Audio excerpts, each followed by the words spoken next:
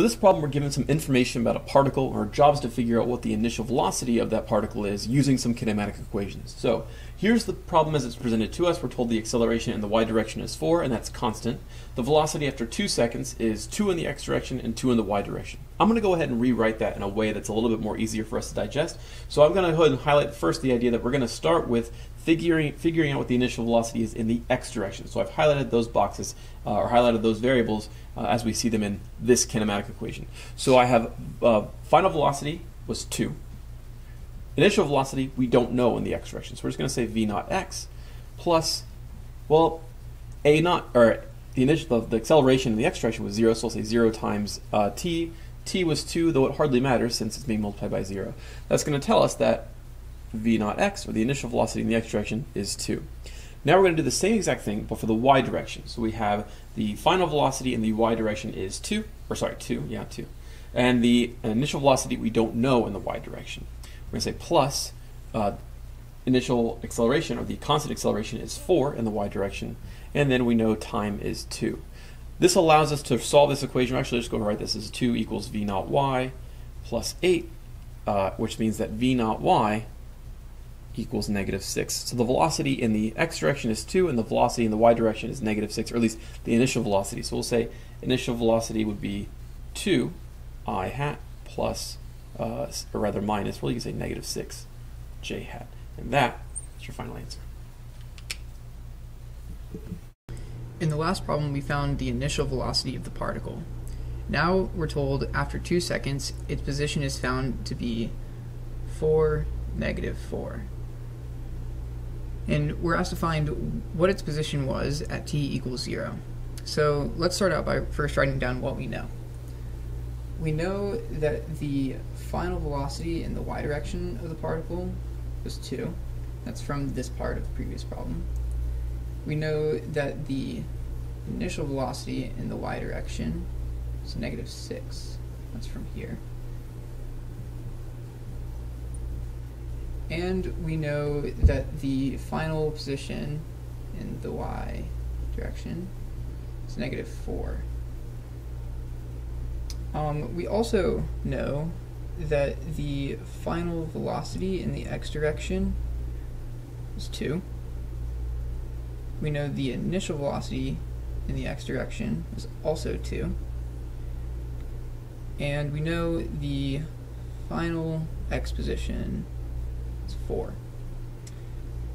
So how can I combine all of the, this information to find this? Well, let's remember one of our kinematic equations that said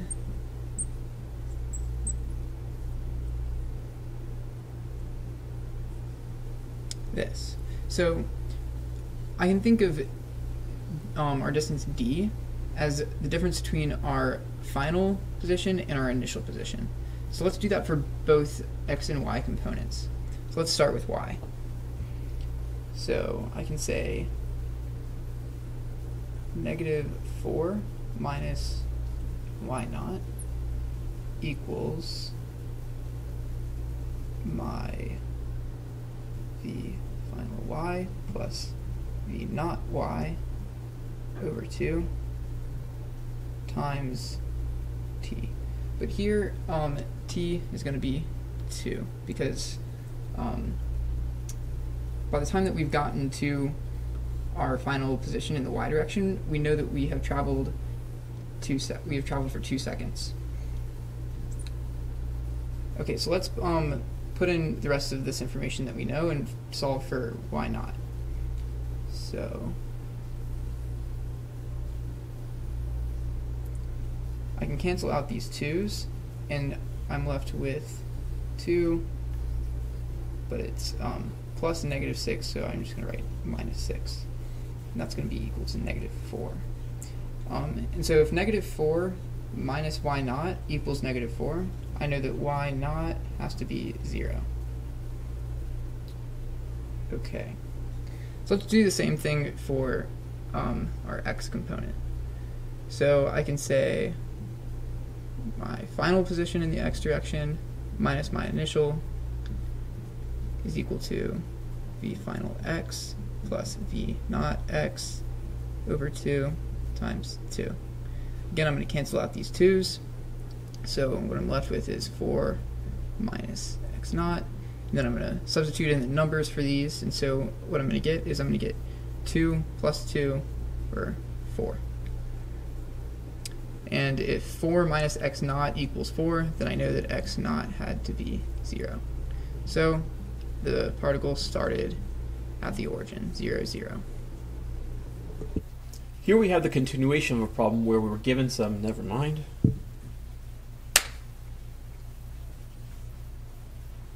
Here we have a problem where, nope, don't go back. That's fine.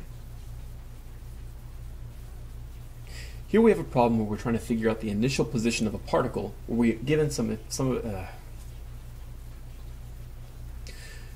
here we have, I'm an idiot. Here we have a question about a particle where we have some given information about it with, with regard. Ugh, can't talk.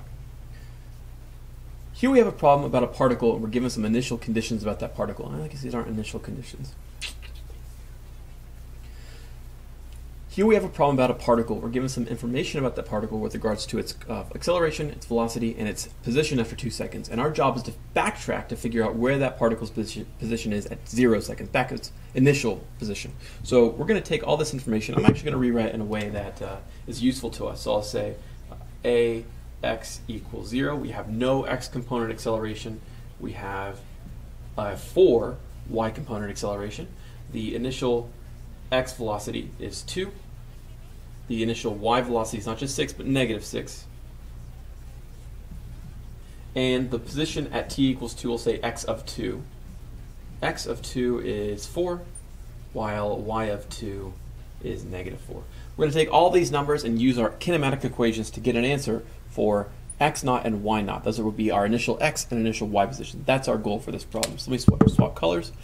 We'll start with the x, x, x stuff, so let's take all these numbers in this box and put them in the appropriate place here. Remember that this is positioned at t equals 2 seconds, so that's going to be our value of t down here as well. We're going to do that for both of these equations. So we have uh, 4 equals, we don't know, x not yet, a plus 2 times 2, that's our t, this is our v naught x, plus 1 half, ax is 0, and t squared would be 4, although it doesn't really matter because again we're multiplying by 0. Let's do the same thing for y. We'll solve this for this, we'll solve this for x not in a minute. Uh, the final position, the final resting place of y is negative 4.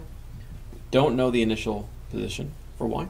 We know the velocity in the y direction is negative, I don't know why it says v naught f, but it should say v naught y. Let that be a lesson deep Benny. Make sure you read your good.